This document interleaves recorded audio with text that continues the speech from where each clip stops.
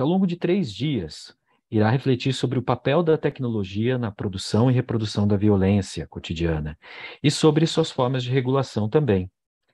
A ideia desse evento, ela foi, na verdade, né, construída há dois anos atrás, quando eu conheci o Andrés de Sicília, da Universidade de Artes de Londres, e o Fábio Ferraz, da Universidade de Jyväskylä. Né? Eu ensaiei bastante para falar esse nome, é lá na Finlândia. E ah, quando a gente teve essa ideia do evento, foi durante um workshop de violência e segurança urbana, realizado em março de 2020, no Rio de Janeiro, pela British Academy e a Academia Brasileira de Ciências. Evidentemente, quando a gente recebeu a, a, o financiamento para esse evento, a gente já estava com a pandemia acontecendo. E esse evento acabou se atrasando por dois anos, né? Nossa ideia, nossa execução. Mas hoje, com muita alegria, a gente está iniciando as nossas discussões. Ah, é importante dizer que esse evento ele vai acontecer, esse webinar ele vai acontecer ao longo de três dias. Hoje, né, dia 15 uh, ah, de setembro, na próxima semana, no dia 22 de setembro, quinta-feira, no mesmo horário, e depois na última semana do mês de setembro, no dia 29, também no mesmo horário e também pelos mesmos canais de acesso. A nossa ideia foi espalhar o evento ao longo de três semanas para que não ficasse pesado para ninguém e para que todas pudessem nos acompanhar durante as discussões. O evento ele está sendo financiado pela British Academy, a gente agradece muito a British Academy por esse apoio, mas ele está sendo também apoiado pela Universidade de Artes de Londres e, evidentemente, pelo Núcleo de Estudos da Violência na USP, o qual está provendo para a gente uma infraestrutura e suporte técnico e institucional, toda a ajuda acadêmica, a qual nós agradecemos principalmente né, ao coordenador do NEVE, que é o Marcos Alvarez, e a Cris Uchoa, que está nos auxiliando no processo aqui. Ah, e agradecendo aqui o nosso outro lado, que é a Universidade de Artes de Londres, né? Gostaria de agradecer diretamente a Alessia Catani, que está nos ajudando no evento desde o início e está sendo uma das principais elos dessa organização aqui. A nossa ideia com essa série de eventos era reunir pesquisadores do Norte e do Sul global para refletir como as novas e velhas tecnologias interagem e se tornam agentes diretos e mesmo indiretos na produção da violência. Nós partimos do pressuposto que a tecnologia ela é um processo, é um processo social, e, portanto, ela tende a reproduzir as mesmas fissuras sociais, de uma maneira que muitas vezes ela acaba reproduzindo essas fissuras e essas tensões sociais de modo silencioso e de modo naturalizado, sem que haja nenhuma percepção ou muitas discussões a respeito disso. Mas, em grande medida, nós compreendemos que as tecnologias hoje são vetores de reprodução de, das mais diversas formas de violência. E por violência aqui, entendemos não necessariamente a violência direta, a agressão direta física, mas também outras formas de violência, que podem se dar tanto no campo simbólico, indireto, portanto, e outras formas de violência que se expressam em formas de discriminação, segregação, exclusão e ruptura identitária.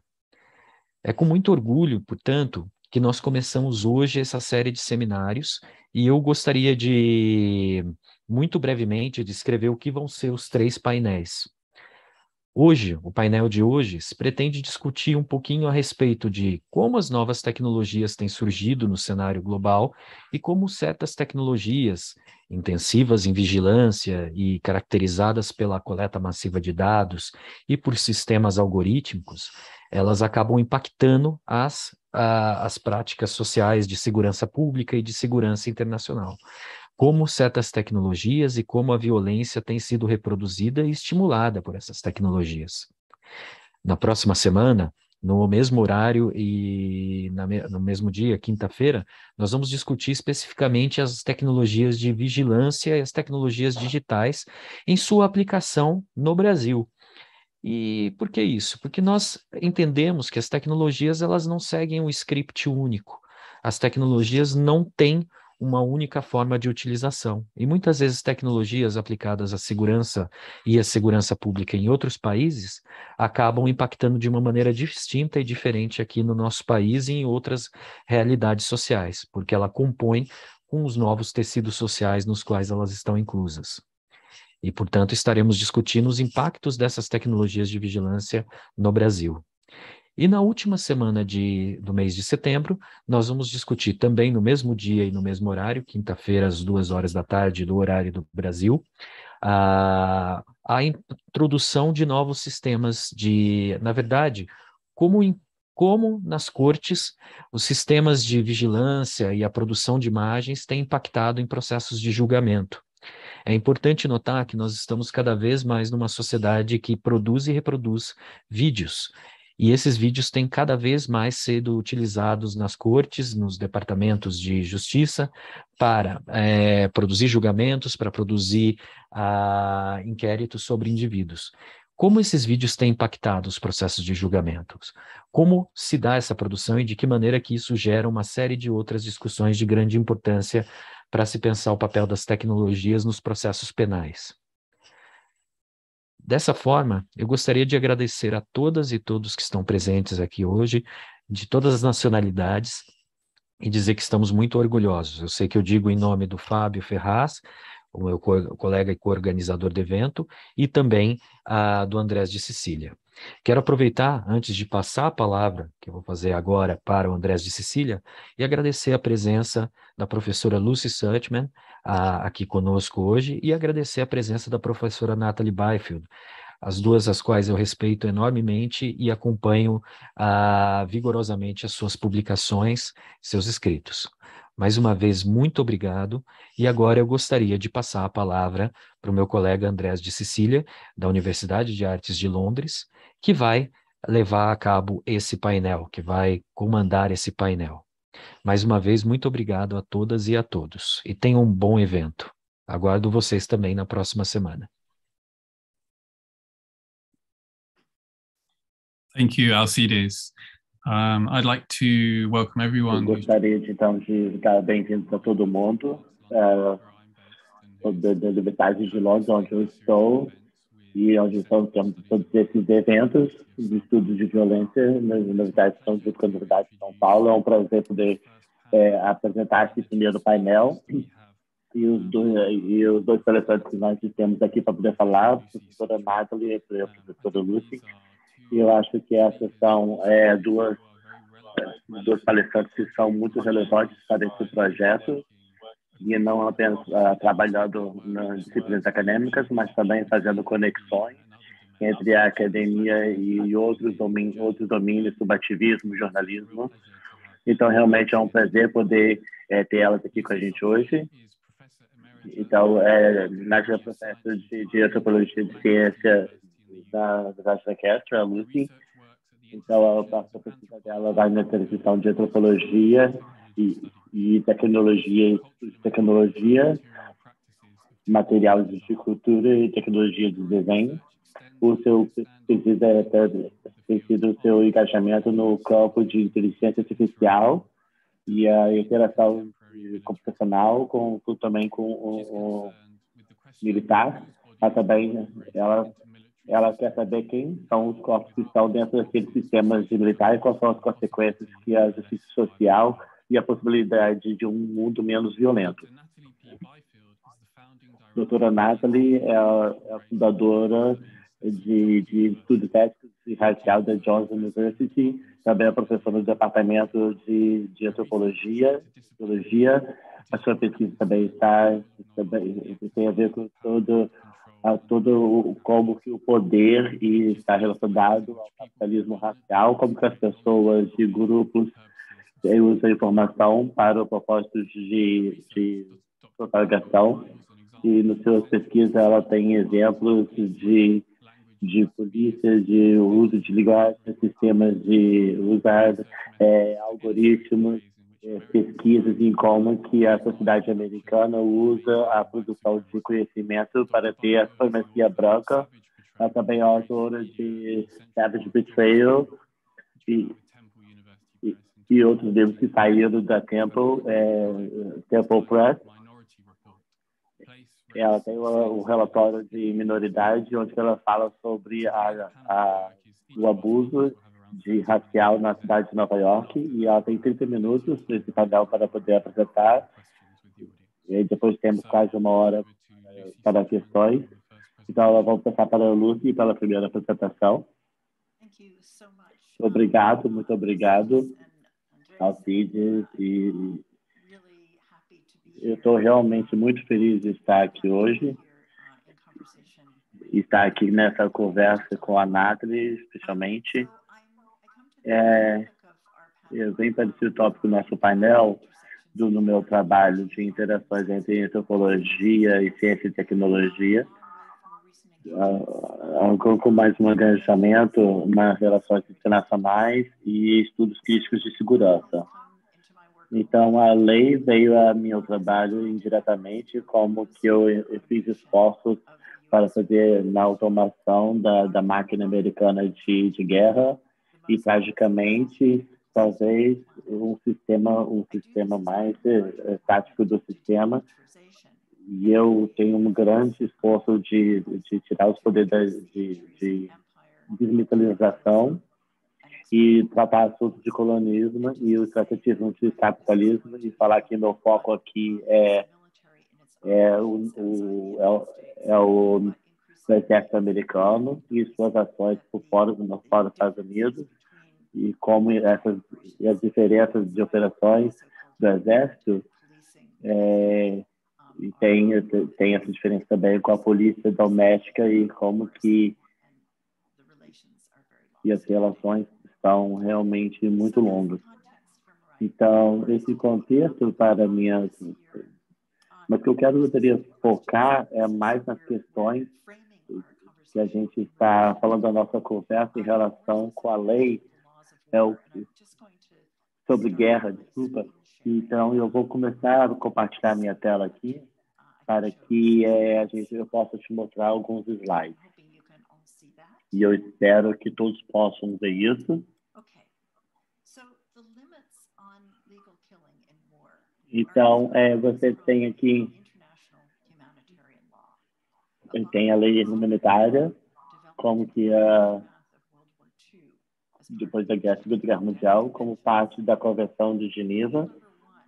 A primeira lei é que, da, da, é que o princípio de distinção, que fala que as partes de conflito têm que, ao tempo todo, estar distintas entre os civis, os, os, os civis e os, e os atacantes e os combatentes. O mais problemático é o fato que o princípio de distinção entre combatentes e aqueles outros que não estão fora dos combatentes, quer dizer que é uma desestabilidade dessa categoria. E, e, a, e também de quem está na guerra poder reconhecer essas diferenças. E algo que eu vou falar mais nessa discussão, mas mais fundamental, é, Nutshell, ela também fala na sua, no imaginário de, de, de um estado de, de batalha, que um, e é uma parte de que faz muito importante na tomada de decisão. E esse imaginário que são que são investidos na automação, que é comando, controle e também uma uma abreviação que foi criada nos anos 80, que ainda está sendo elaborada nas, nas décadas, quando o, o poder de computador e de rede tem expandido. Agora, continuando com essa, com essa falando com o Edson, que eu falo que um mundo fechado, como que, como que essa, como essa tecnologia supervisionada é, é esse imaginário político que surgiu em 1946 e, e continuou é, nos anos 80 com o Ronald Reagan é, e chamado né, os seus iniciativos de Star Wars, Guerra das Estrelas, junto com os outros movimentos, levaram uma aceleração dos esforços para centralizar operações do exército baseado em, em, em, eventos computacionais.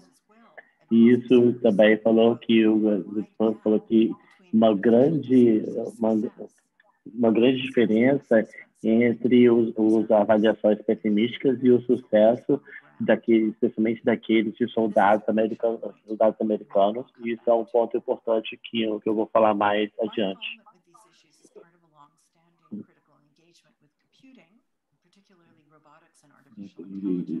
E a inteligência artificial, começando na década de 80, quando eu me juntei aos meus colegas na empresa Xerox, no centro onde eu era pesquisadora, e eu desafiava a confiabilidade do controle no lançamento de armas nucleares. O mesmo ano em que a Reagan lançou o programa Star Wars Guerra nas Estrelas, a defesa dos Estados Unidos avançou uh, um projeto chamado DARPA, onde tinha uma iniciativa de 10 anos chamada Iniciativa de Computação Estratégica. Uh, a, a ideia era, pro, era oferecer inteligências humanas e computacionais. E um cientista, um cientista que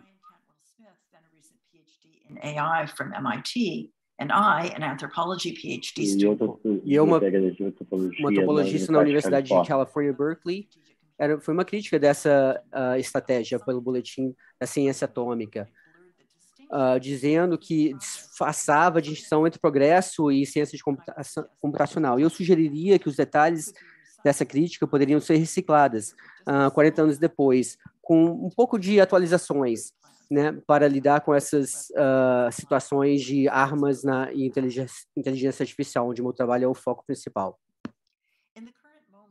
No momento atual, a fantasia de uma de uma supervisão tecnológica, ela foi reanimada através de promessas de inteligência artificial.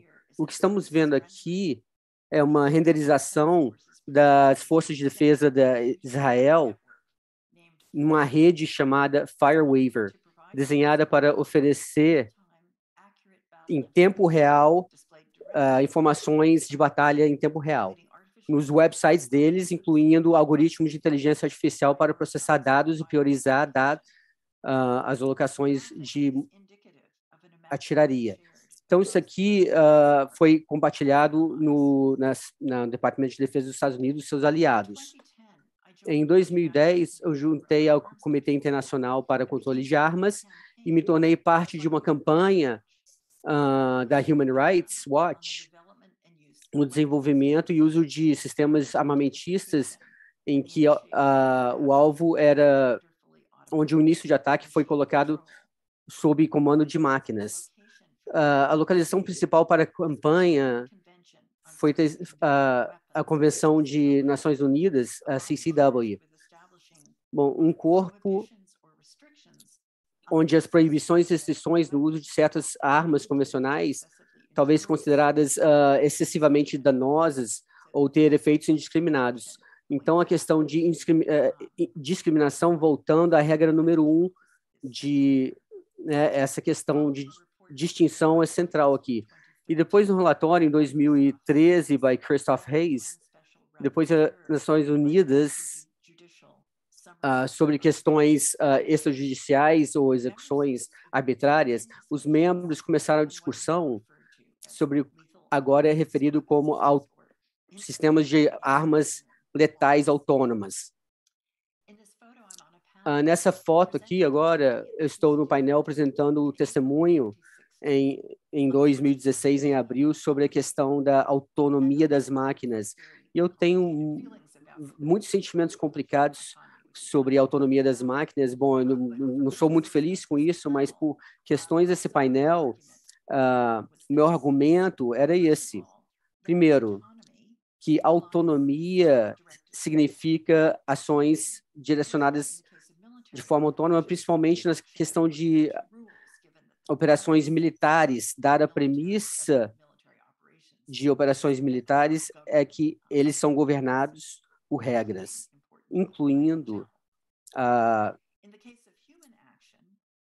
no caso de ações humanas, como o IHL, né, as capacidades, ela pressupõe habilidades que as regras não podem especificar. E, em particular, ela pressupõe essas competências que são necessárias para estabelecer uma relação de responsabilidade entre as condições assumidas pela regra e uma situação que vem se desdobrando. No caso do sistema de armas, que seria inerente à IHL, a autonomia de máquinas necessitaria de traduções não ambíguas sobre regras para o que seria uma situação de conhecimento, particularmente para a identificação de alvos legítimos, de acordo com o princípio de distinção. Então, estaria a tradução dessas regras na, em códigos executáveis por máquinas. Ao contrário dessas asserções na, nas robótica, não existe evidências é, evidências em operacionalizar essas capacidades que são pressupostas e necessárias aos princípios de distinção. Isso uh, levanta várias dúvidas sobre a possibilidade de armas autônomas letais. Então, para resumir a pergunta para as armas autônomas, eu perguntei seria se a capacidade de discriminar, que é a pré-condição para a, o assassino lícito, se ela poderia sofrer ambiguidades. Meu meu argumento seria que as armas autônomas seriam uma violação das leis e deveriam ser proibidas. Um,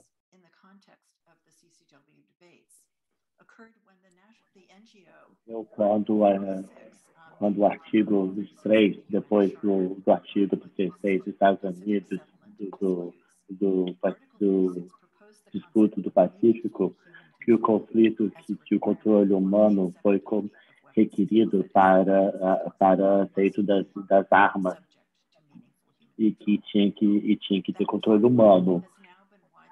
Agora isso tem sido adotado como por participantes na, nessas discussões do CCW e isso tem é, diminuído os debates, como eles lidam com perguntas como qual é o que, que quer dizer esse controle humano. Meu colega, é, meu Shark, com outros, tem fornecido muitas análises de que, que são cinco níveis de controles humanos sobre sistemas de armas e onde que o humano tem uma, uma, uma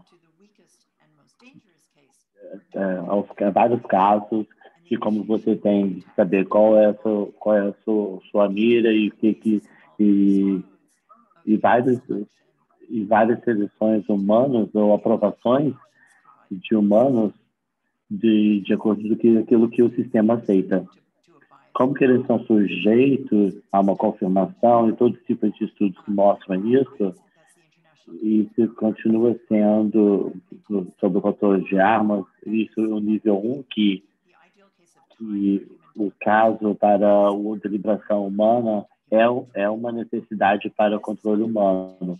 E isso está também está ligado com a automação de armas, sistemas de armas, então, a posição é que o desenho de diamas tem que ser capaz de operar sem, sem o controle humano, e nessa definição, isso quer dizer que, são, é, que, que as armas autônomas são ilegais. E aqui, de muitas formas, eles é, são argumentos bem, é, bem, bem feitos, e onde que meu dilema é, cresce quando tem a violência de humanos foi aceito pela pela pela esse comitê mas a figura do do homem e esse loop é, isso tem tem uma, uma complexidade de, de informações sociotecnológicas e a associação de todas as suas é, todas as suas equívocos se o controle for para ser emitido, só vai ter sentido na, na que a, que a inteligência, que a inteligência consegue fornecer informação da, do que é legítimo, aqueles que estão realmente em, em combate.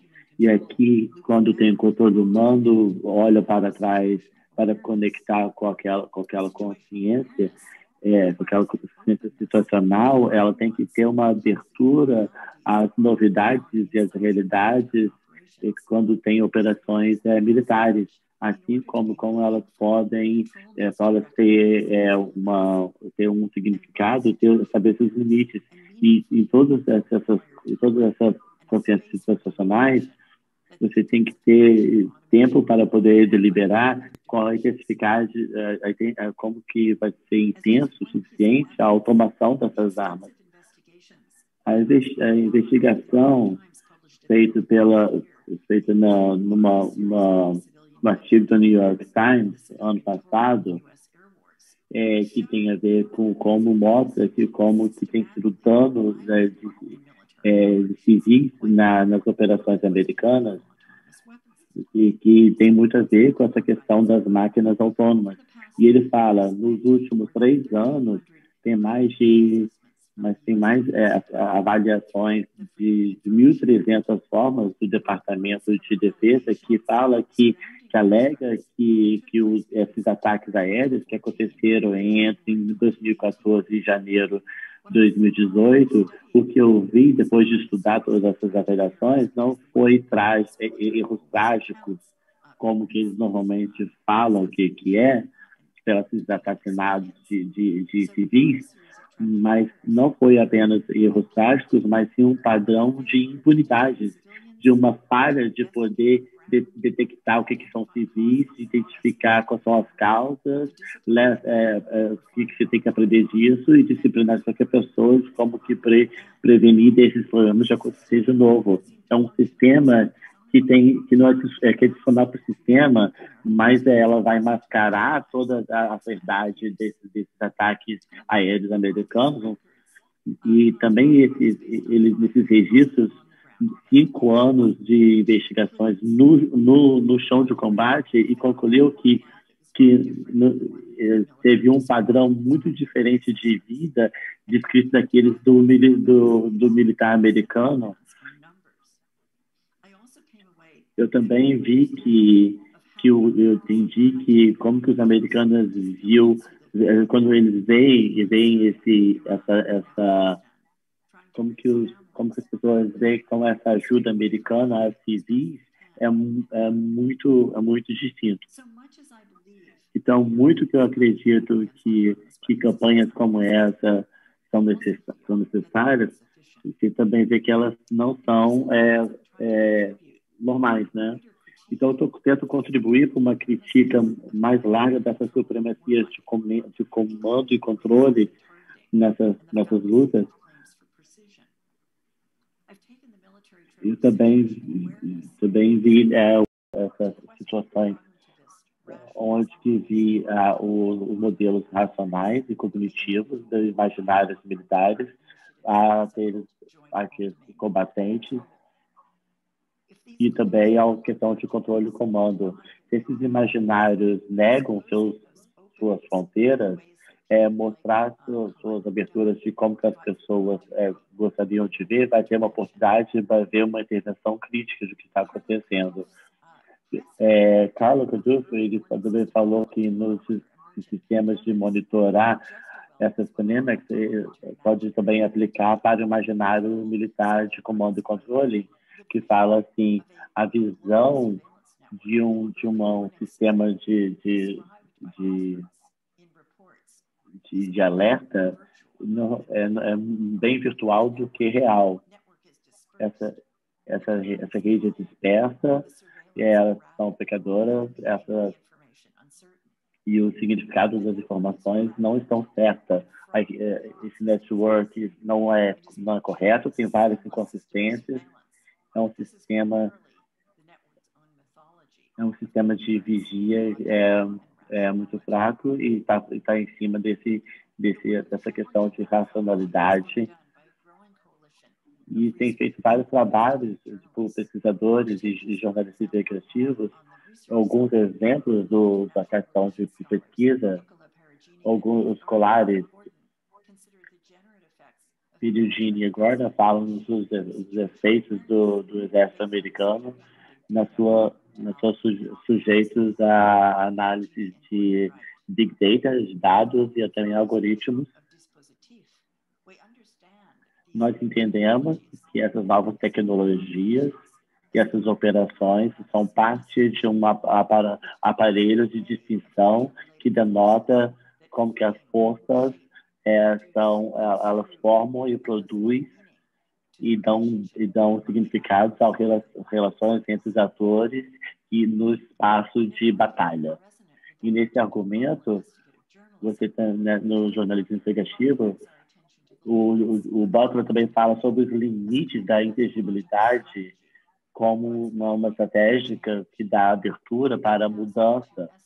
Em, 2000, em 2002, ela escreveu que não apenas é necessário isolar e identificar o, os nexos peculiares de poder e conhecimento que dá um aumento a, a, a, coisas inteligíveis no campo, mas também trilhar o caminho que como esse campo encontra o ponto de, de, de, de o ponto onde que o momento de, de e onde que ele falha de constituir a inteligibilidade para a qual ele significa o que isso quer dizer pela maneira que ele olha também para as condições, mas também como que são as condições desses limites e o momento onde que ele aponta para a contingência e a sua transmobilidade. Então, então incorporar nesse, nesse imaginário de identificação, é, operações militares precisam ser eleitas de uma para entender quais são as suas responsabilidades a abertura do seu mundo dá um problema muito grande para esse projeto de segurança da dominância de militar. Então, eu vou terminar com o Então, eu termino com esse problema que eu creio que podemos voltar nele na minha discussão. Como que nós podemos trabalhar com esses recursos que a lei uh, oferece para desafiar o militarismo? Né? E realmente sobre militarismo, pois é, realmente uh, a questão cerne do problema. Então, como nós podemos trabalhar com esses recursos para desafiar, que a lei nos oferece, para desafiar as instituições militares em seus próprios termos, no caso que eu estou falando, uh, na, nos direitos uh, humanitários internacionais, sem de forma implícita apoiar essas premissas que, de comando e controle, que é de fato operacional. E no contexto do CCW, dos debates CCW, para mim, o requerimento para engajar com o controle humano de forma significativa, considerar isso uma necessidade, realmente precisa, quer dizer, sair da, da caixa de tudo que nós conhecemos sobre a falta de controle humano significativo nas operações militares, de uma forma contínua. E eu entendo o valor de fazer isso novamente no contexto do CCW. E eu realmente sinto essa tensão do que é necessário, quais são as instruções que nós precisamos uh, uh, ter, né, para, uh, e sem, sem respostas para trabalhar com essas questões legais. Então, vou deixar isso aí e vou esperar os comentários da Natalie. Thank you so much, Lucy, for that fascinating presentation. Um, I'll now hand over to Natalie, but I should just say that... Agora eu vou passar para a Natalie. Obrigado, Lucy, mas gostaria de dizer que se alguém estiver usando o live stream do YouTube, você também está bem-vindo para uh, enviar perguntas para discussão após a apresentação. Então, para vocês podem enfiar, enfiar as, as enviar as perguntas agora. Nós vamos coletar essas perguntas durante a apresentação para nos prepararmos para a sessão de perguntas e respostas. Então, agora eu passo para a Natalie.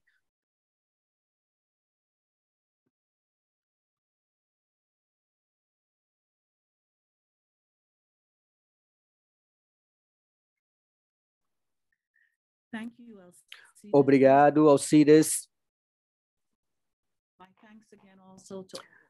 Meus agradecimentos a todos os organizadores. É um prazer realmente poder apresentar hoje com, ao seu lado, Lucy. E também participar das discussões. Bom, eu vou compartilhar minha tela agora.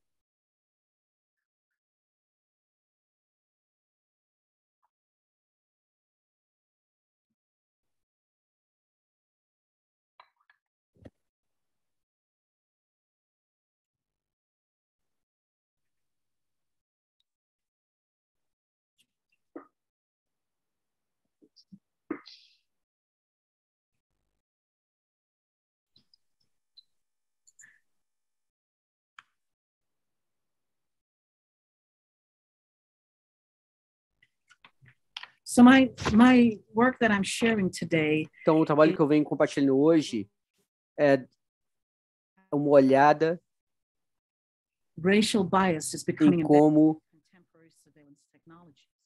essa tendência racial tem sido contemporânea nas uh, vigilâncias tecnológicas.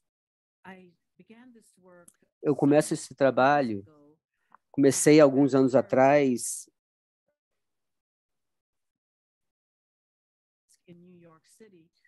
em, na cidade de Nova York, em parte porque eu estava examinando em parte o tipo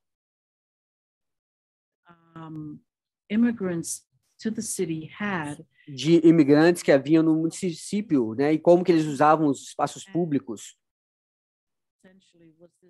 E, e então esse trabalho foi essencialmente que o que me levou de volta a um, o exame de em nossa sociedade atual, enquanto como nós enquanto víamos a, a convergência de informações de capitalismo e uh, o surgimento de encarceração.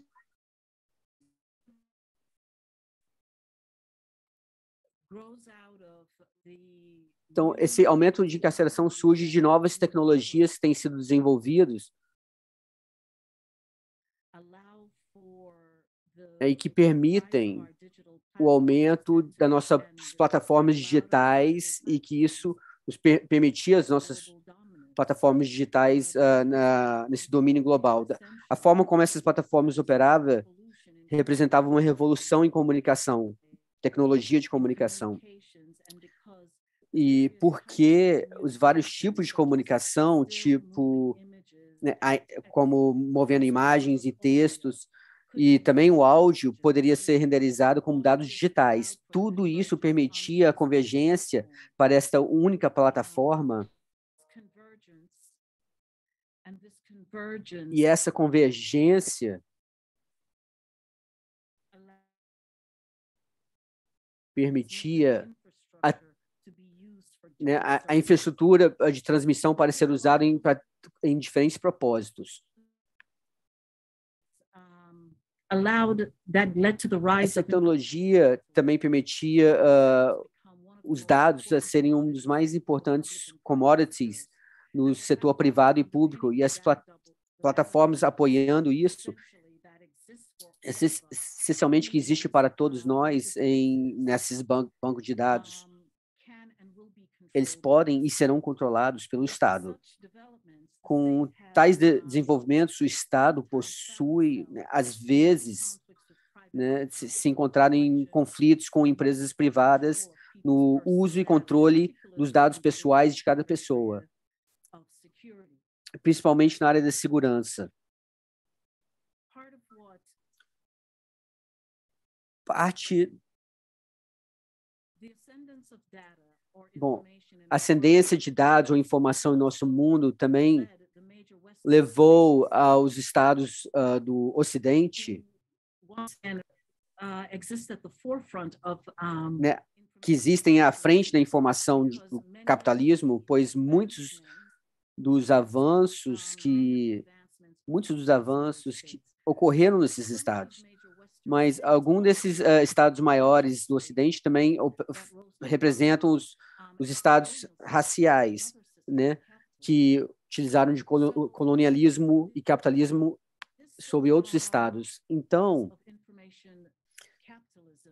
essa informação sobre capitalismo nos Estados Unidos, em particular, mas não apenas os Estados Unidos,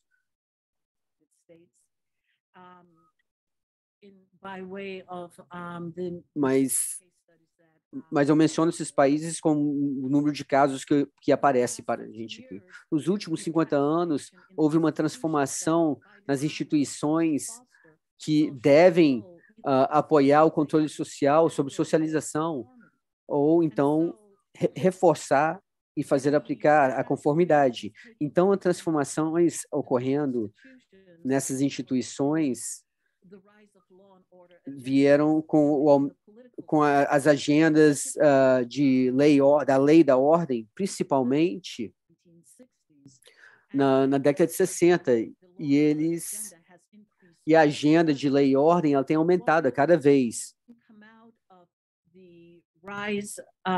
O que nós vimos desse desenvolvimento ou dessa transformação nas instituições por exemplo, tem sido uma expansão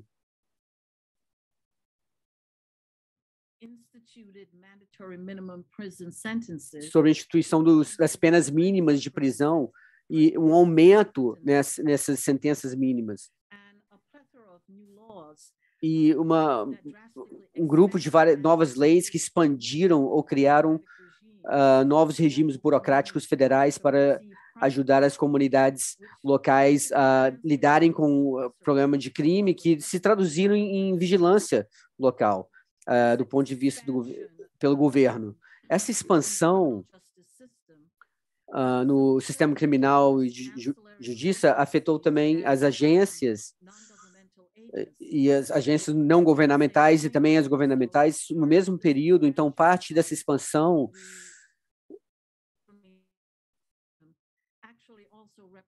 Bom, na verdade, também representou uma expansão do Estado carcerário.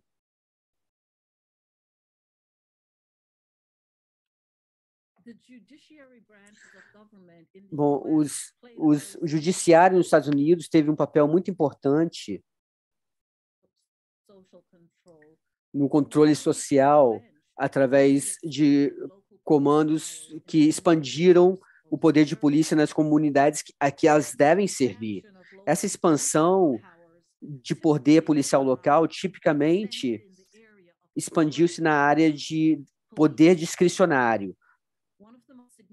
Um dos mais uma das decisões mais significativas pelo Supremo dos Estados Unidos foi no apoio à polícia, foi o caso de Terry versus, versus o estado do Ohio, onde o Supremo decidiu que a polícia não viola não viola o direito das pessoas quando elas param e, e, e investigam as pessoas e mas esta esse regramento reduziu essencialmente as, o que a polícia experimenta no, sobre o, a, a emenda número 4 da Constituição, que, estabele, que deve estabelecer primeiro uma causa antes de uma parada policial. Bom, estou oferecendo uma tabela, uma imagem que nos dá uma certa ideia da, sobre o sistema encarcerário massivo que existe nos Estados Unidos e os milhões de pessoas que uh, têm sido, uh, sido confinadas em vários estados federais e em prisões locais também. Como podemos ver, as prisões estatais são responsáveis por muitas das encarcerações ou ao aumento das, dessas encarcerações. Então, a emergência do Estado encarcerário sobre o ponto de vista de informação capitalista, deve encorajar os acadêmicos, estudiosos, para avaliar as práticas de vigilância pelo seguinte: a gestão carceral do Estado, né, por controle, principalmente o controle uh, racial, and discrete sources in our digital lives and the significance of those changes e a significância dessas mudanças para a era de polícia que engaja em estratégias nessas estratégias.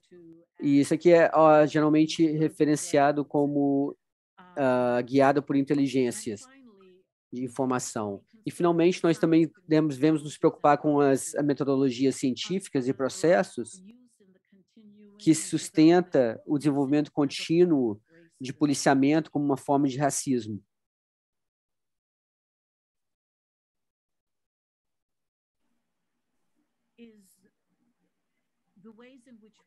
A maneira em que a que a gente pode retirar então como que como o racismo está incorporado nas, nas, nas tecnologias, sendo que as tecnologias com o aumento de, de, do capitalismo da informação, também tem aumentado o encarceramento. O que me, o que me surpreende é como que muitos pesquisadores estão é, estudando o controle cultural e, e, e racial em estados raciais não não colocam racismo na sua pesquisa e na sua análise. E estudando estudando informação é, o, o, racismo e racialização são mostram de outra forma como que o racismo vai vai ter vai influenciar esse controle social onde a gente vê sendo incorporado dentro das nossas vidas diárias usando essas tecnologias. Então, assim, isso pode nos ajudar a identificar novas formas de, de, de depressão do, do Estado e novas formas de combater ele. Então, o foco de, o foco no, que eu vou falar nas próximas partes da apresentação são é, como que é o carceramento em massa e como que a metodologia científica tem levou a esse desenvolvimento e, leva a esses desenvolvimentos. Essas são as duas últimas coisas que eu falar na minha lista.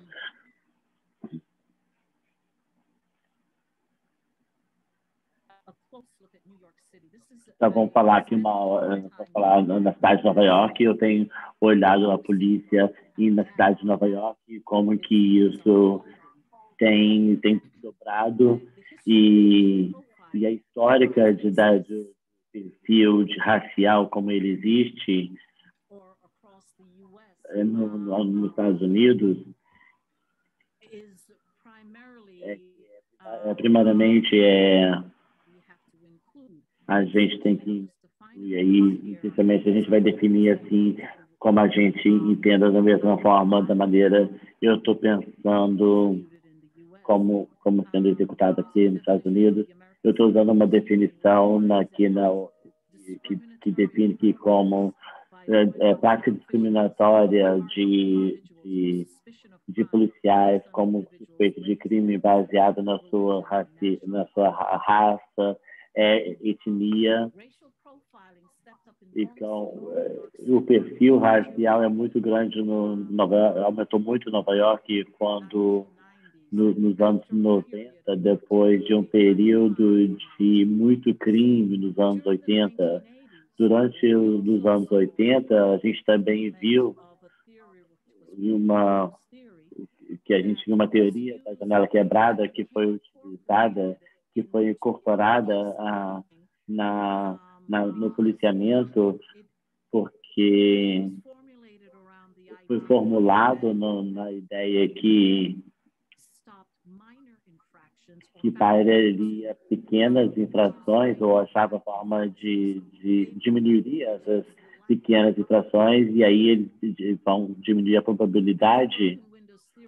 Quando essa teoria de janela quebrada foi, foi desenvolvida no, no, nos anos 80, é, e aumentou o uso de, de, dessa teoria da janela quebrada no, no policiamento nos Estados Unidos é sistema para um, mapa computadorizado de poder trilhar o crime.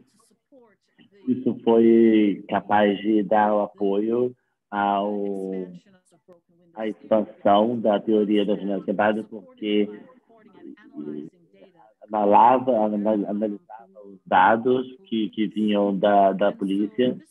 E aí aonde que, que, que parar e perguntar é, entra, entra em ação esse Stop Question Freeze, que é, é, é uma prática da que, que permite a polícia é, na, na, lei, baseada na lei de Terry, de, de pegar pedestres de, não só com o propósito de, de assegurar que eles não estão cometendo um crime ou então não estão com intenção de cometer um crime, e como resultado da Terry Law, a polícia agora pode falar pedestres na base de, de apenas suspeita, saindo saindo dessa, dessa área de muito, muito crime nos anos 80 e passando para a Juliana, que ganhou muita atenção é, nacional e internacional por parte no, no período do, do setembro 11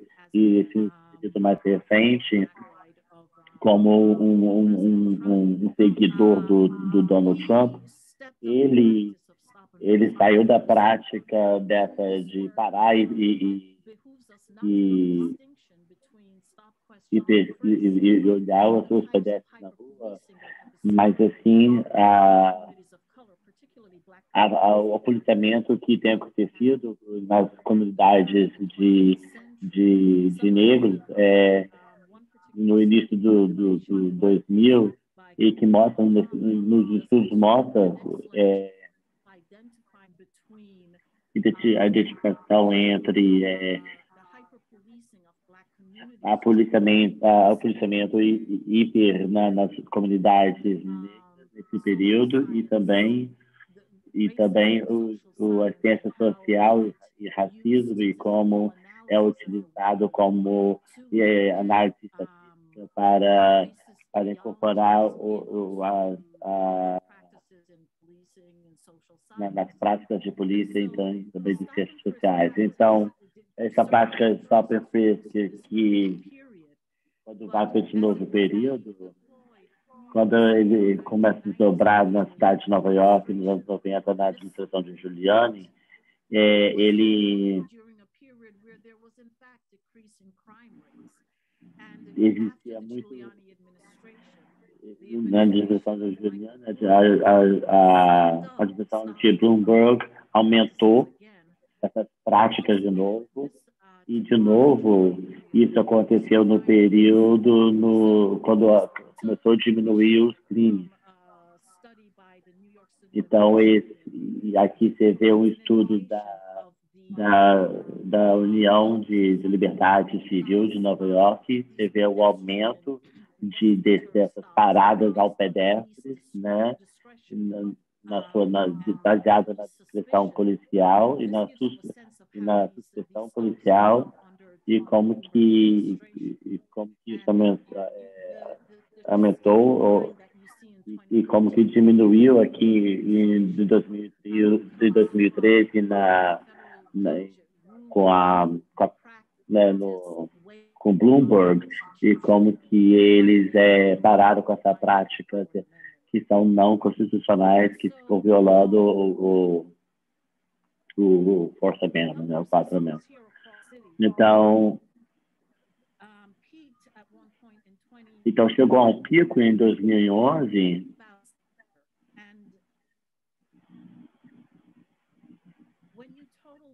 Quando você é, junta isso tudo, você vê aí 5 mil pedestres sendo parados durante a administração de Bloomberg e, e, mais de, de milhares acontecido, é, que aconteceram em, em vizinhanças negras, no, ainda mais na, na, central de Brooklyn, onde tem um dos bairros de New York City, tem cinco bairros em Nova York, em Brooklyn, onde tem a maior população é, e também é, imigrantes negros.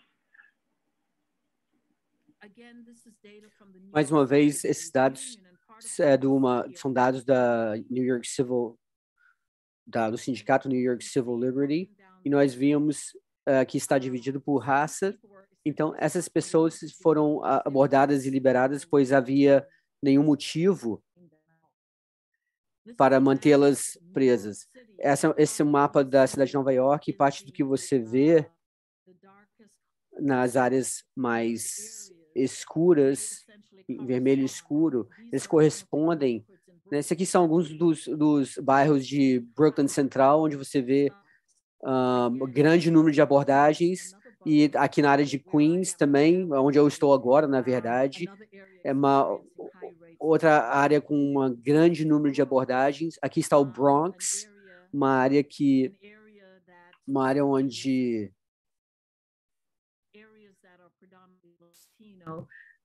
são predominantemente latinas. Né? E aqui é o Harlem também, são áreas que durante esses tempos.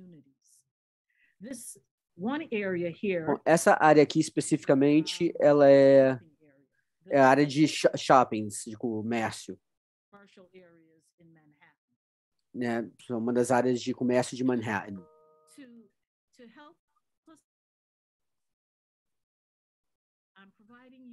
Bom, estou oferecendo aqui a vocês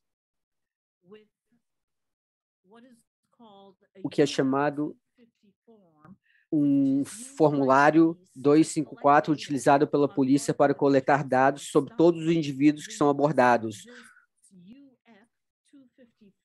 Esse formulário, o F254, ele foi utilizado, ele tem sido utilizado prior um, administrations, até sobre administrações anteriores, né, além da administração do Bloomberg. Mas o que é muito interessante é como um formulário como esse tem sido usado para coletar dados, é que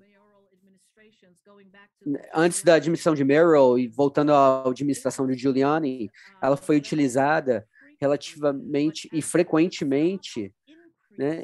mas enquanto as abordagens aumentavam na administração do Bloomberg, a utilização do formulário tornou-se necessária e a polícia, as autoridades de polícia obrigavam essa regra que os policiais deveriam preencher esse documento para coletar dados das pessoas. Como vocês podem ver aqui, a variedade de dados que são coletados, nós vemos coisas como uh, cicatrizes, tatuagens, a escola, também dados raciais, é claro.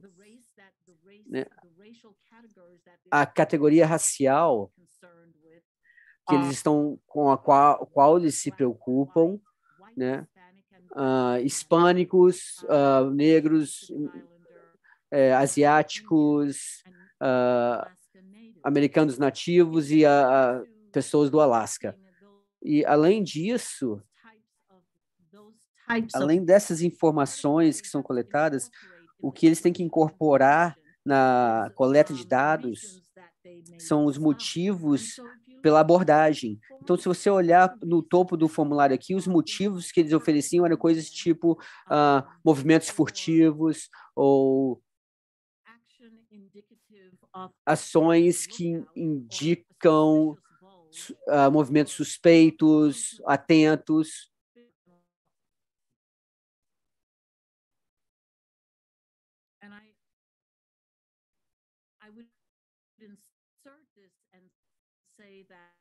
E eu diria com muita certeza que eles estão coletando dados também não ao que leva a abordagem, mas também a, relacionado àquilo que levou eles a fazerem a abordagem. Aqui no, na parte de trás, eles também têm outros critérios, aliás, critérios parecidos, né, movimentos suspeitos, furtivos, que eles, o que eles consideram suspeição de estar carregando armas ou recusa de cumprir as ordens do policial. Mas o que é muito importante também para chamar sua atenção são essas circunstâncias aqui que levam, que precisam de um certo tempo para uh, realmente uh, uh, fazer uma, uma, uma, busca corporal na pessoa. Por exemplo, evasão ou recusa de responder às perguntas dos policiais.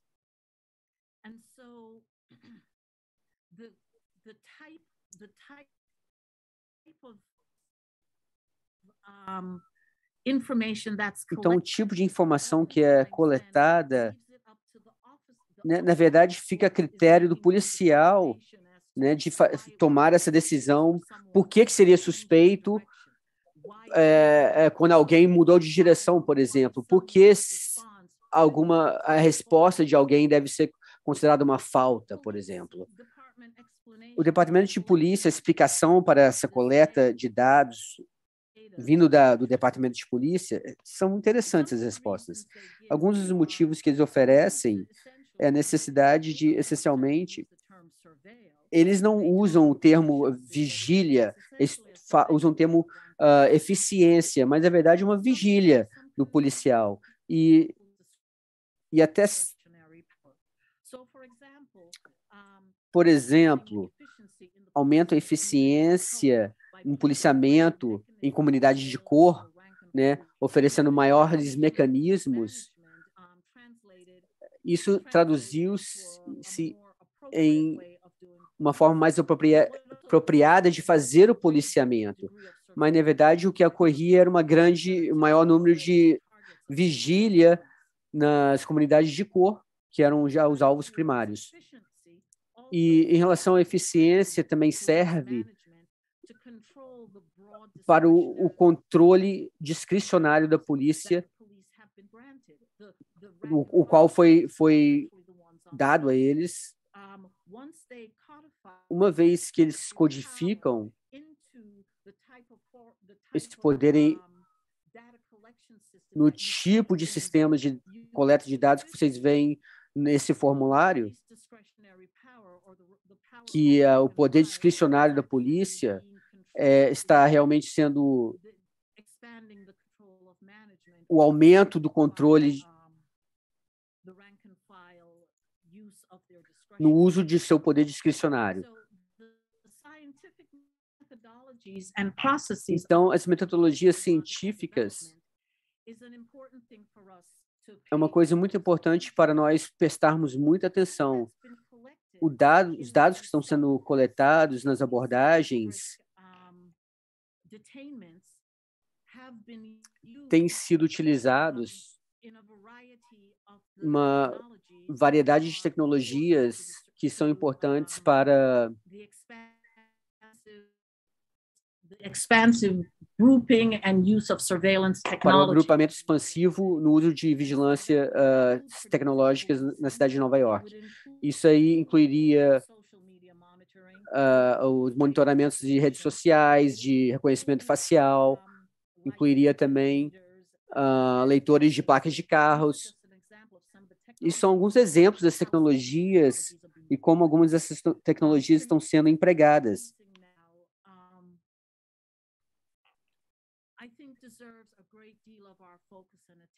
Isso de- merece um grande porque é, está baseado em parte no, no uso de tecnologias de algoritmos, então de- usando dados de fontes é, discricionais e utilizando elas e, e usando elas para combater crimes no futuro.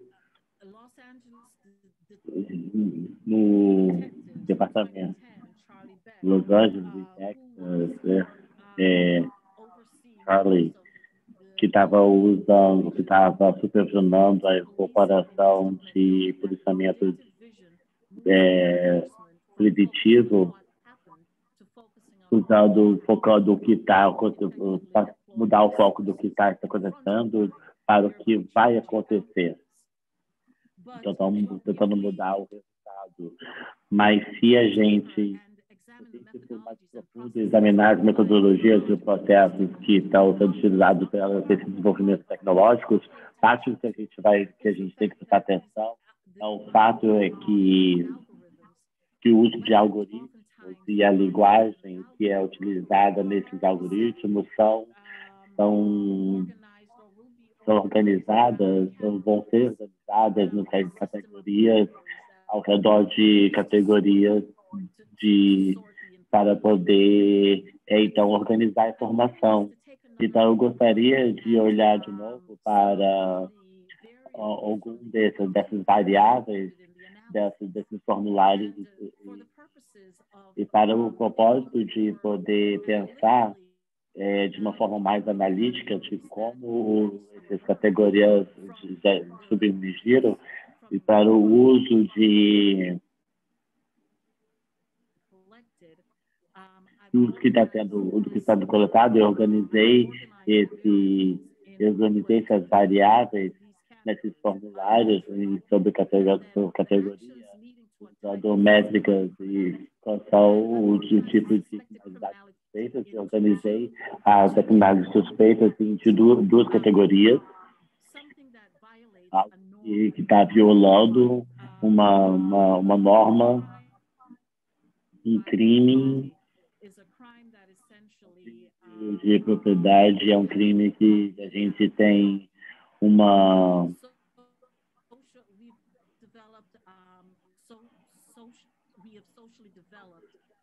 na que nós estamos é desenvolvidos socialmente é, tem desenvolvido é, tenha aceito ou rejeitando esses tipos de comportamentos. A gente criou normas em volta desses, dessas, desses crimes que estão desses crimes e esse trabalho tem vem vem de de Karim em adição para poder também saber a diferença entre os crimes e, os, e aquelas categorias de, de itens para, para as normas de itens que estão. Eu também criei outra categoria para eles, que eu chamo é, crime existencial.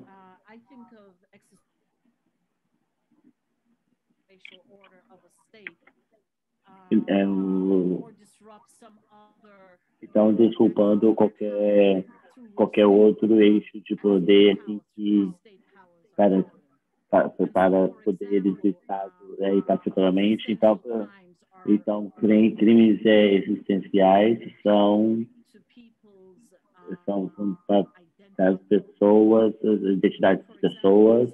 Então, por exemplo, em alguns é, estados é, é, é, raciais, é, onde pessoas que foram definidas como nativos são também definidos como é, criminais. Então, isso é olhar quais são os crimes que são, que são é, ligados às pessoas de alguma forma e não automaticamente categorizar, é, fazer, categorizar eles como crimes que estão nas comunidades. Outras categorias que que tem critério para poder parar e revistar, é, também uma infração, se é uma infração é, realmente ocorreu, e são os elementos geográficos e também, e também o tempo e, os elementos de tempo geográficos são examinados durante durante é, uma elementos que a gente presta atenção durante a é, vigilância. Então, é, o propósito de eu utilizar é, dados reais nessas categorias é, é para poder enfatizar de que a forma em que como que essas categorias vão ser utilizadas para criar algoritmos, especialmente uh, quem são os criadores e quem eles vão representar e, e, e são as categorias que eles vão provavelmente incluir aí, como que eles vão aumentar a, a racionalização dessas pessoas que estão sendo paradas. A gente tem um sistema onde que a maioria dessas, dessas paradas é, acontece em comunidades que são predominantemente é, negras e latinas, e essas pessoas estão sendo paradas para ser revistadas são é, são assim então então esses dados coletados é, acaba sendo associado a associado à raça e são elementos e maneiras em que o, a, a, a diversificação dos da dos dados durante durante a organização de dados e, e, a, e a, análise de dados, essa, essa distribuição tem um elemento completamente racial que, que incorpora as características de, de, de categorias que são predominantemente é, incluídos na, nessas paradas. É, então, esse, então, esse movimento fica associado a uma, a, uma.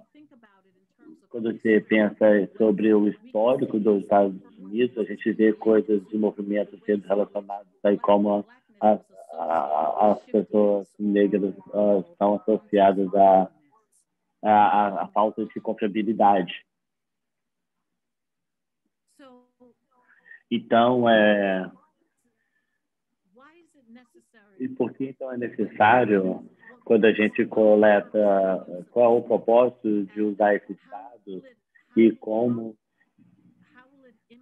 e como vai impactar tecnologias que estão sendo utilizadas e como que vai impactar os cidadãos, os residentes, as pessoas que moram nesses, nesses estados aonde, aonde essa, essa, a, a raça está dentro do algoritmo. Então, é, eles registram, então isso fica elegível a qualquer entidade que está controlando esses dados e a categorização delas. É, elas, os dados que, que os modos geram, eles não têm controle sobre as categorias que elas são colocadas da análise que, que vai ter novas dadas para para mais campos de dados, até se a gente tiver o argumento que os dados originais pertencem ao originador humano, para quem esse dado realmente pertence, e enquanto a gente, é, a gente cria e gera, é, não apenas juntando os dados, mas também as tecnologias e análise de de dados e algoritmos que a gente gera, a gente gera mais dados. A gente pessoas e dados que são deixados para trás, são com peles que saem, são analisadas é, online e são vulneráveis da maneira que são categorizadas, do jeito que o governo é, quer estruturar elas e não usando critérios legais como é, é, a pessoa sendo talvez sendo inocente ou então os, esses processos. Então, então, então eu quero levantar esse ponto. Nós apenas não a gente não apenas precisa é, entender o problema em que como a gente pensa a, a, privacidade e a gente tem que criticar é, o uso de, de, de tecnologias de, de vigilância mas a gente também precisa problematizar da forma que a digamos que, que a, a, a raça, a, a, como que essas raças vão ser incorporadas. Então, é, tecnologias de algoritmos. Então, é, muito obrigado pela oportunidade de apresentar isso. Muito obrigado, Natalie, por uma brilhante apresentação. Então, eu gostaria de agora abrir para perguntas que foram submetidas pelo live stream do YouTube. Eu tenho uma lista aqui, então nós podemos trabalhar por essa lista e, e as pessoas que estão online, por favor, podem continuar me enviando as perguntas. Vamos tentar responder a maioria delas. Então, Lucy e Natalie, se vocês puderem ligar suas câmeras, por favor. E eu vou começar com as perguntas que nós já recebemos. Então,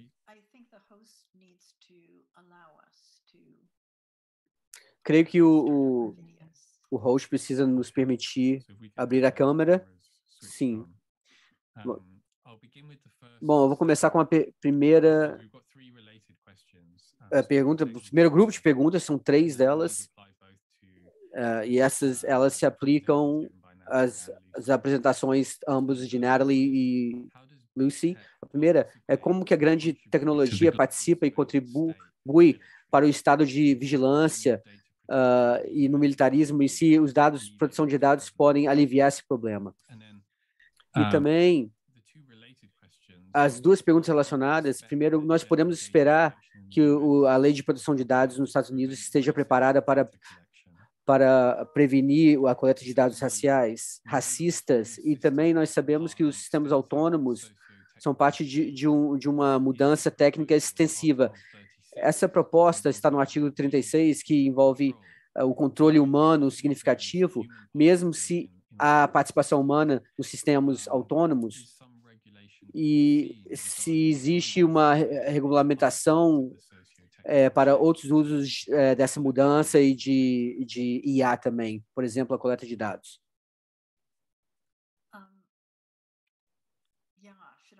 Sim, uh, eu posso Posso dar um palpite aqui nessa? Bom, sim, em termos de o, o, Big Tech, né? A, Natalie fez referências às plataformas e também ao capitalismo racista.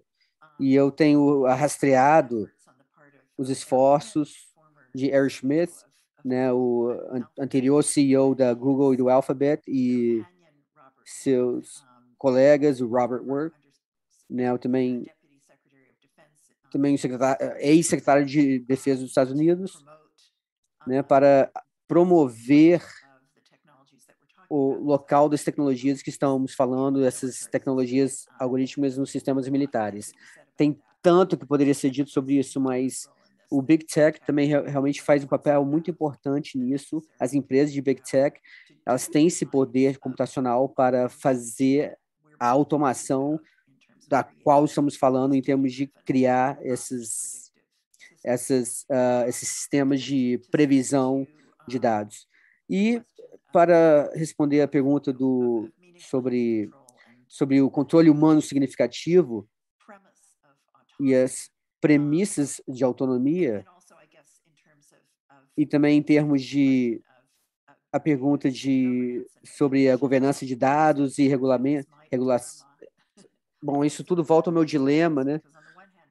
Bom, por um lado, dado o, o tipo de histórico sistêmico institucionalizado, essas formas de supremacia branca e racismo que a Natalie tem falado, que igualmente organizam as operações militares americanas né, na, fora do território nacional,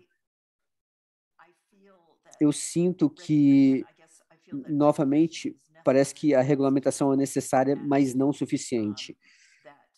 E que você sabe, nossos esforços precisam incluir, mas também ir além dessas formas de regulação, regulamentação em, em termos de controle humano significativo e há também iniciativas enormes na questão da automação do tão chamado inteligência artificial ou, ou big, análise de big data nos nossos sistemas militares, principalmente eu creio que esse é um local onde nossas preocupações realmente se interceptam, no caso de do, da automação das vigilâncias de vídeo, né, através dos drones americanos, né, os tipos de alvo, sobre o perfil dos suspeitos. E eu acho que né, eu, é, esses formulários, né, ali que você ofereceu são fascinantes em termos do, do que está sendo reconhecido aqui como a base, né, no, no, no caso das revistas, dos policiais, as abordagens,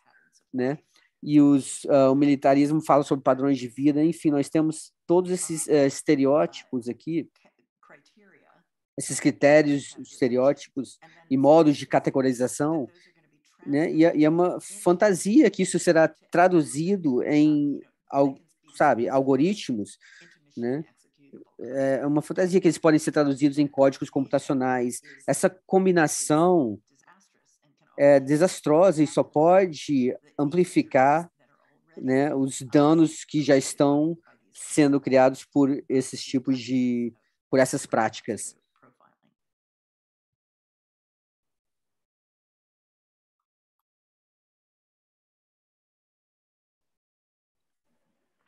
To answer that você gostaria de responder essas perguntas também, ou Natalie? Eu gostaria de poder é, repetir as perguntas. a primeira, como que a Big Tech vai participar e contribuir para o estado de vigilância no militar? E, então, e, também a proteção de dados pode aliviar esse problema. E outra que é mais relacionada a você, porque a gente pode tirar é, essa, depois a proteção nos Estados Unidos para poder ser preparada para poder prevenir é, coleção de, de dados raciais.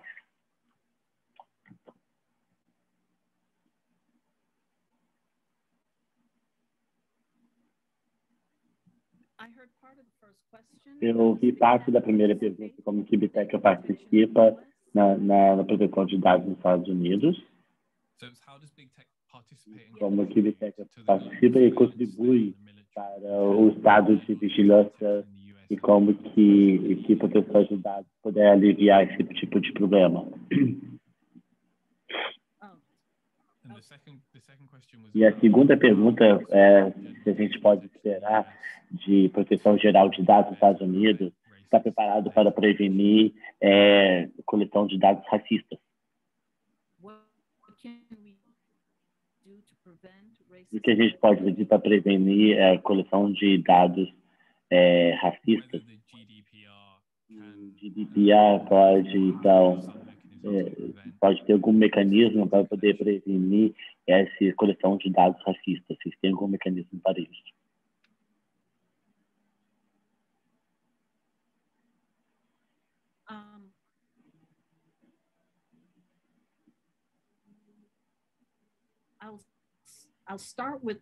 Eu vou começar com, com a primeira, como que Big Tech passiva contribuir para, para, para é, os dados de vigilância global.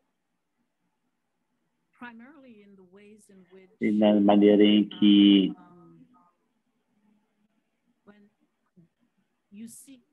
quando você é, você vê essa, as linhas não muito não muito claras entre quando quando a Big Tech entra para poder realizar algumas das é,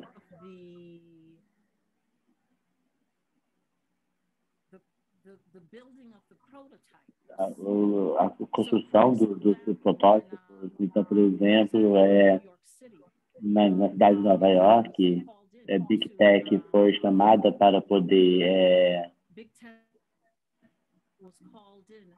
foi chamada para poder ajudar a desenvolver e também é o preditivo na cidade e o trabalho o trabalho que que dessas Big Techs fizeram foi criar um problema para a cidade porque a cidade queria mudar o, o, o trabalho que tinha sido feito para para sua própria plataforma na, na cidade querendo dizer que é, né, o, o, o, departamento de polícia de Nova York eles queriam migrar para a sua própria plataforma e quando eles fizer quando eles, quando eles tentaram fazer isso a, a resposta da Big Tech foi assim olha da data crua é sua mas qualquer outra coisa que a gente é, coletou isso pertence então para a gente, então, então é, então a geração de, de dados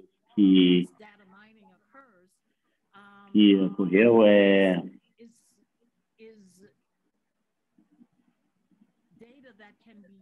dados que podem ser utilizados por, por empresas de Big Tech e a gente tem muito pouco controle sobre isso.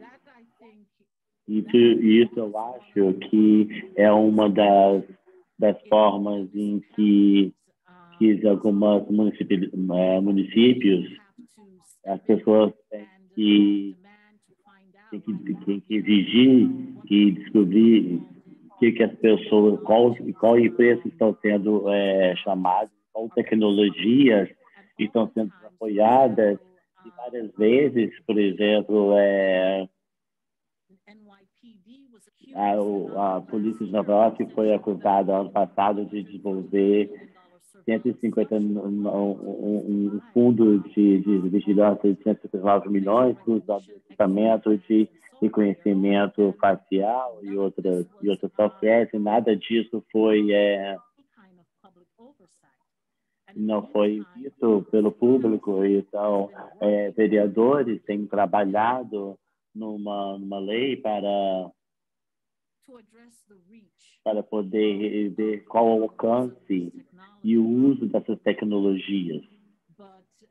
Mas é, a contribuição, como que eles participam e como eles contribuem, é, uma, é, uma, é muito cinzento, não é até a gente ainda, como são dados públicos, a gente tem que saber como gerenciar e como a gente gera esses dados que estão envolvidos. Então, talvez outras pessoas podem contribuir para esse argumento também.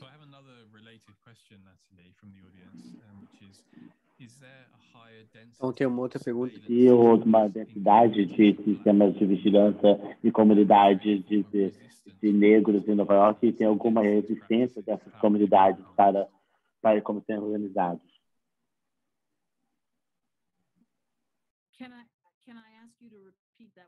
Eu poderia pedir para você repetir a pergunta. Peço perdão, minha conexão não está muito boa. Claro. A pergunta é: existe uma identidade de sistemas de vigilância nas comunidades negras em Nova York? E se existe uma forma de resistência uh, dessas comunidades uh, contra essas práticas e como elas são organizadas?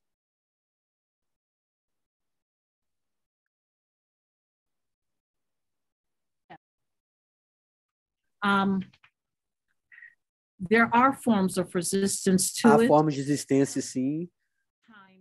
Algumas vezes, Sometimes it, it takes the, the algumas vezes it, it, it emerges sort of through the culture.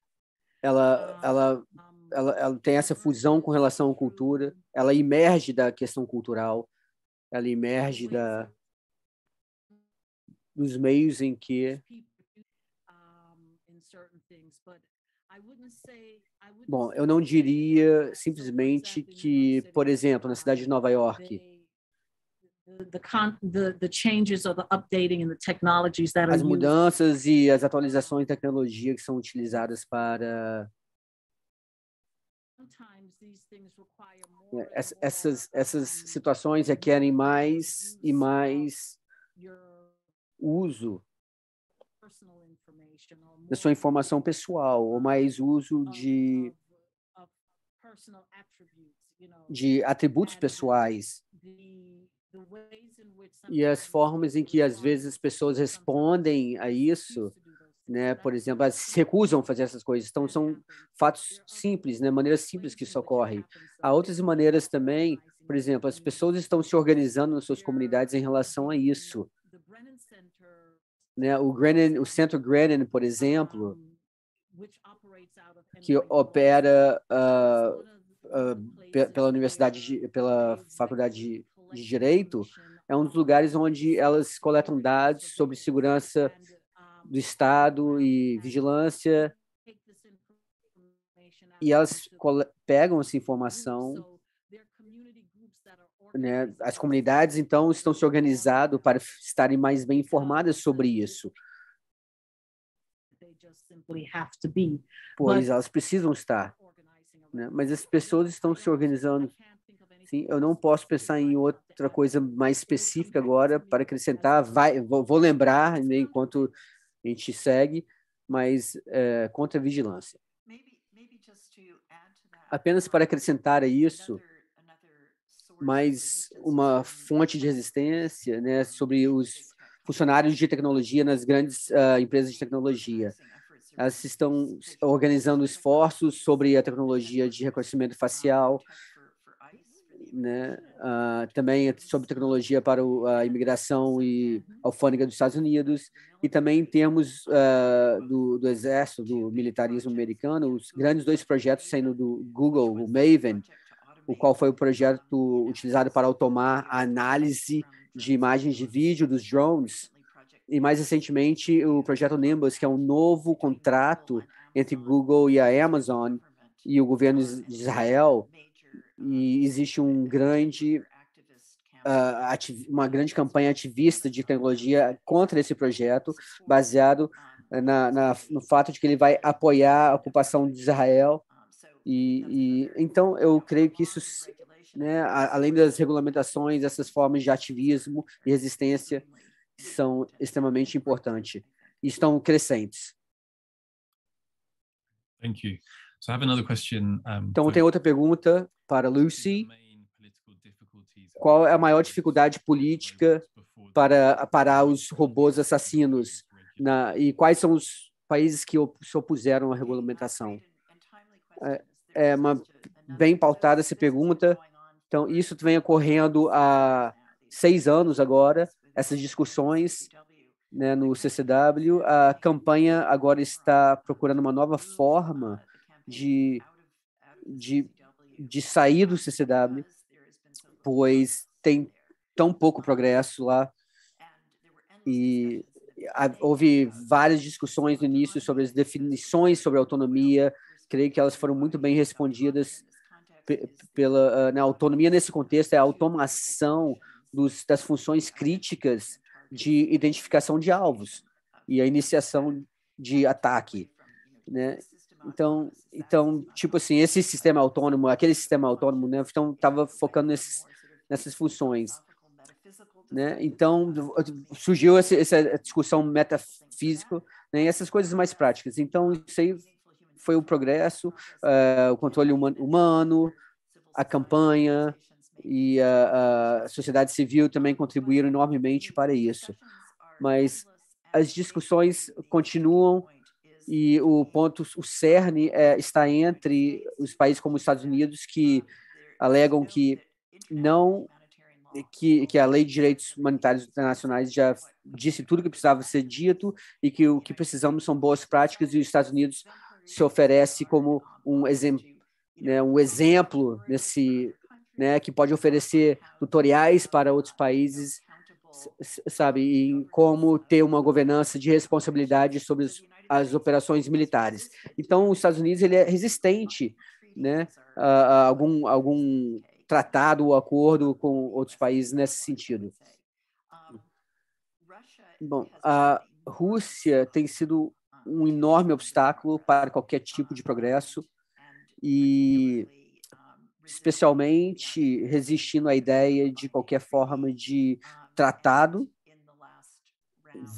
e nas últimas negociações ou discussões nas Nações Unidas começaram que, né, que começar, começou-se a questionar o acesso da sociedade civil e as organizações nessas discussões. Então, eu diria que os obstáculos são são são são essas táticas de parar, evitar isso, vindo dos países que não querem ser inibidos no seu investimento contínuo no desenvolvimento dessas armas. E isso nos leva de volta a, a, ao complexo comercial, industrial, militar e essa, esses grandes interesses econômicos dos quais estão uh, lidando e a indústria armamentista também.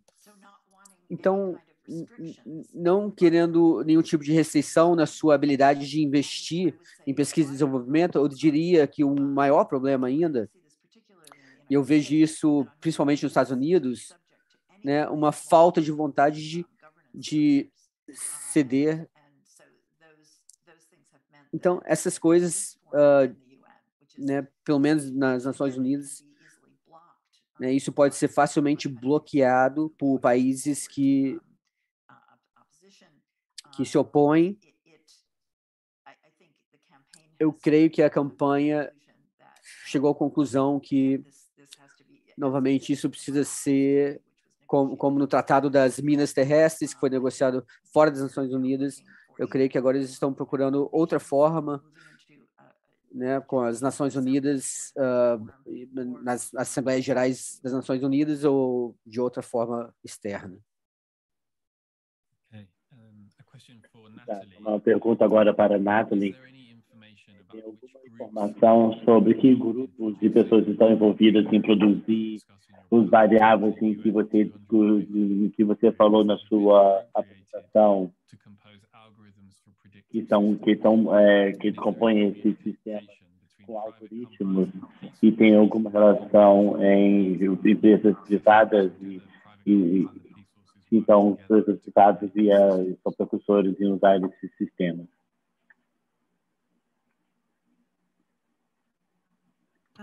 Yes. Sim. So, então, I'm sorry. apenas é, me perdoe aqui um minuto. Can you hear me?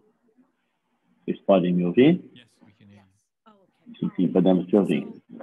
Então, é, na cidade de Nova York, por exemplo, Palantir Technologies tecnologia de, da, da, de empresas do Silicon Valley é, fornece uma informação analítica é, de tecnologia informação analítica para o, o, Departamento de Polícia de Nova York.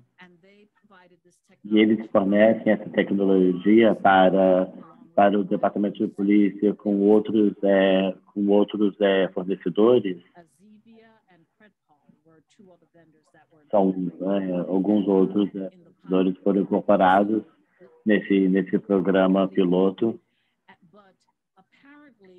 Mas aparentemente, é, o Departamento de Polícia de Nova York tem trabalhado de uma maneira secreta com, com o Palantir Technologies antes disso, de 2012.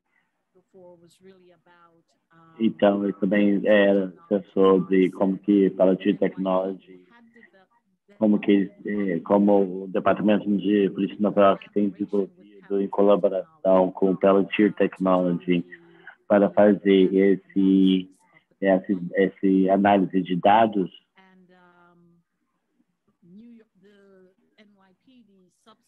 Então, a polícia de Nova York então, é, foi em frente com o seu trabalho com o Palantir e, e, e, e, então desenvolveu sua própria tecnologia para fazer seu trabalho. Mas quando isso foi o exemplo que estava utilizado quando quando a cidade queria Palantir é, mudar a informação, mudar os dados para todo o sistema da, da Polícia Nova York e a Palantir acusou e, e argumentou que os seus algoritmos e seus dados são propriedades né, de, dele, né, são direitos deles. E como resultado disso a Polícia Nova York acabou com o seu relacionamento com a empresa Palantir, mas é, isso é como essas, esses relacionamentos normalmente acontecem eles é, o setor público é, vai para o é, procura o setor é, privado para poder apoiar e ajudar eles na tecnologia. E aí Palantir Technology é interessante quando a gente fala sobre uma empresa como Palantir. Palantir é uma empresa que uh,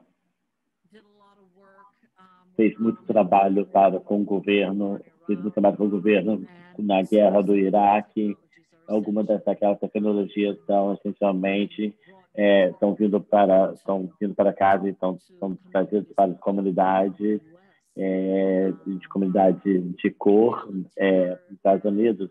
Palantir, é, eu não chequei recentemente, é uma empresa que foi pela Peter Thiel, a pessoa que é que era amigo com o prefeito Bloomberg, que a gente viu essa, essa que, que criou essa grande intervenção de parar e revistar na cidade, e ele foi essa pessoa que é e, então, que tava, então isso responde se tem pessoas né, envolvidas em produzir isso.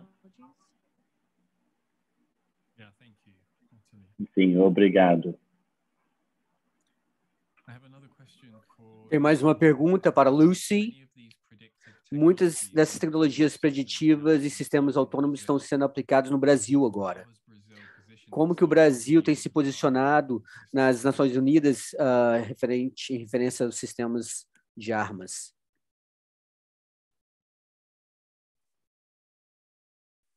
Oh, ah, você está mutada, Lucy.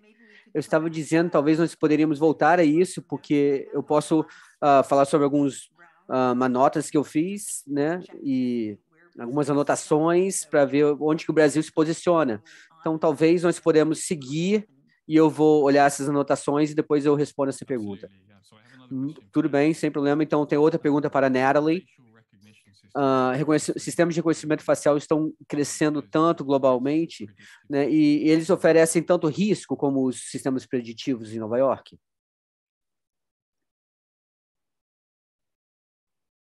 Oh, Você também está com o sem áudio, Natalie. Muito melhor. They do pose Sim, elas oferecem tanto risco e talvez para algumas pessoas até maior risco. e como né, o, o risco tão grande como os sistemas preditivos de Nova York. Está, está relacionada às raízes do ativismo, né, sobre essa vigilância excessiva, a expansão excessiva de, de vigilância estatal, né, não apenas com, com o governo federal ou mundial, mas nos Estados Unidos. Grassroots effort targeting facial recognition né, more a questão, né, a questão do reconhecimento facial está sendo cada vez mais utilizada e uh, os ativistas estão uh, uh, né, estão muito focados nisso agora. Né, tem, então, eles estão muito focados nessa luta com relação ao reconhecimento facial. É, na cidade de Nova York, isso aí recentemente foi colocado nas escolas. Isso é um fator tão importante e é, realmente é um, uma grande coisa porque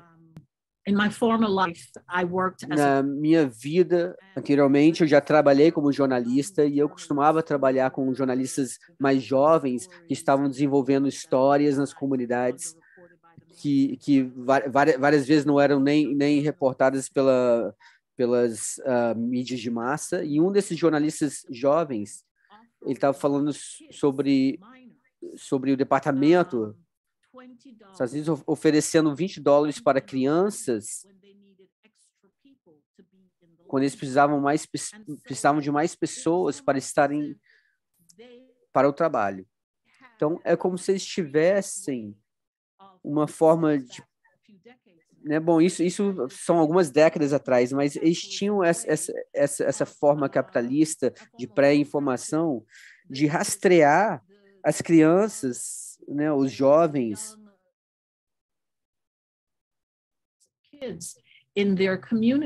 em suas comunidades, né, através de visitas às escolas e abordar essas crianças para ajudar Bom, foi uma prática realmente assustadora que não, né, infelizmente não teve muita atenção. Né, o policiamento nas escolas tem sido uh, diretamente relacionada, né, as polícias as well as tem sido descrito como a polícia sendo a segurança nas escolas. Isso tem sido relacionado né, através né, a certas pesquisas para as formas em que você acaba resolvendo o problema que acontece na escola, se você sabe.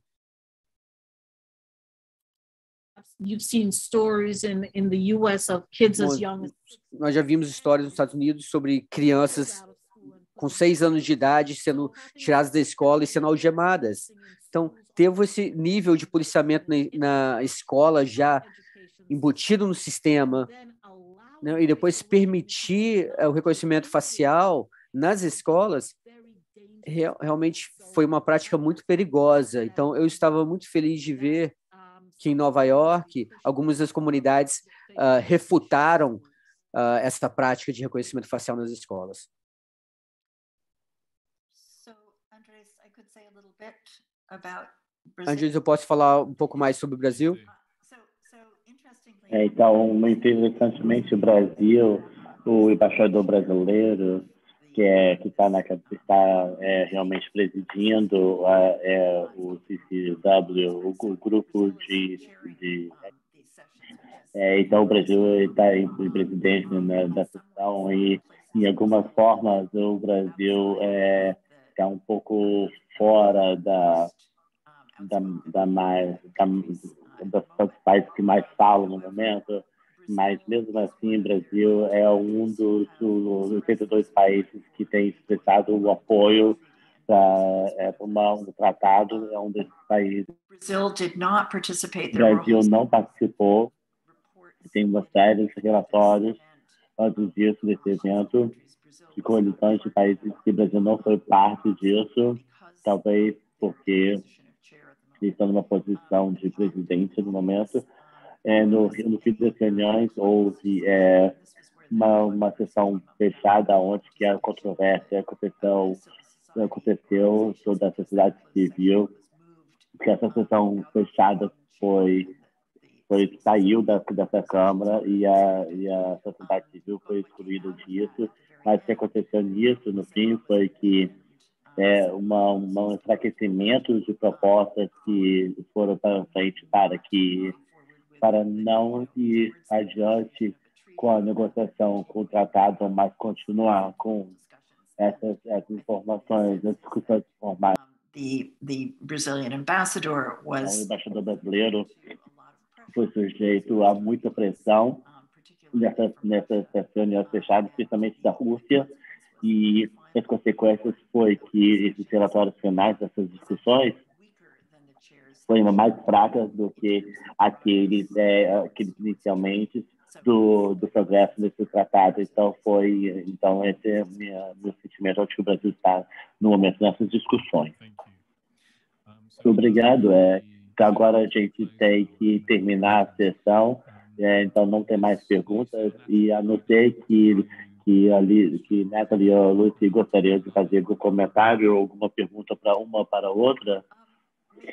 Ah, é, eu adoraria, primeiro de tudo, é, eu acho que, que as conexões são tão poderosas nas arenas que a gente está olhando, então a importância de conectar os, os pontos e também os níveis de que, que a gente que a gente tem que é, como você está engajada na cidade de Nova York e é uma, uma arena muito diferente de onde que eu estou operando mas eu vejo essas conexões em termos de, de comprometimento de, de da manutenção das, das ordens de, de, das supremacias brancas, mas com tipos de complicações e, e expressões complicadas disso, constituídas ameaças, talvez isso saiam do, do, saindo dos Estados Unidos de formas de terrorismo ou por dentro de formas de crime.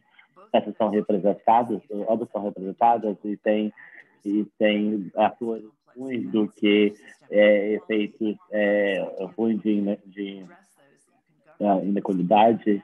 Então, quando você chega a essa ideia de, de, de comando e controle e a, e a funcionalidade da administração, de como que você mostra, são indicativas de como é, a aplicação enorme e, e, como que isso tem levado a, a o movimento de dados de acordo com, com o tipo de de estereótipos, é, comportamentos estereótipos. Então, eu como que o governo, como o exército, o papel do exército e da polícia e, e, e tudo e tudo isso é, é uma é muito é surpreendente para mim é, do jeito que a gente tem olhado. É, é, para mim também, absolutamente. É,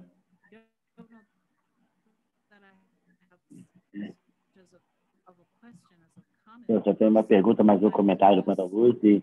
Eu estava apenas. É, eu, você falou sobre a humanização do, do, da, da, da, violência do, do exército, que, que fornece a premissa que, que tem uma responsabilidade e eu acho que sua, sua, sua maneira de olhar isso como impunidade é outra forma em como o nosso trabalho está conectado, porque é, ultimamente é, o desejo para um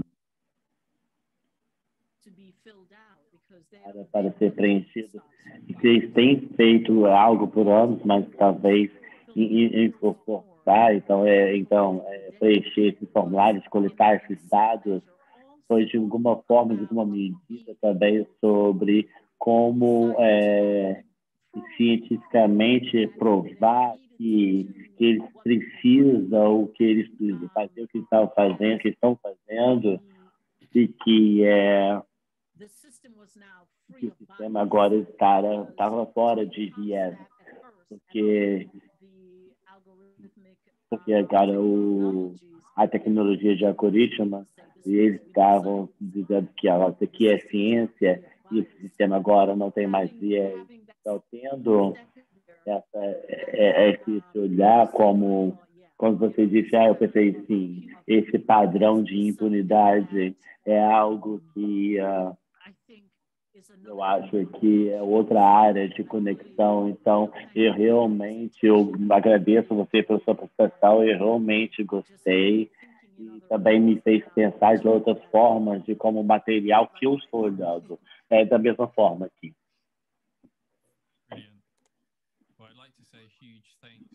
Bom, eu gostaria de dizer um grande obrigado para Lucy Suchmet e Natalie pelas suas grandes contribuições a esse projeto e também ao Centro de Estudos de Violência na, US, na USP e também a, a Academia Britânica. E gostaria de lembrar a todos sobre o segundo painel que ocorrerá semana que vem, no mesmo horário. Então, na quinta-feira, às seis da tarde, horário de do Reino Unido, e dois, duas da tarde, horário do Brasil, e o painel será focado nos riscos de vigilâncias uh, de inteligência artificial e sobre essas tecnologias. Então, espero vê-los na semana que vem. Obrigado. Obrigado por pelo convite por fazer a minha apresentação. Muito obrigado também aos organizadores.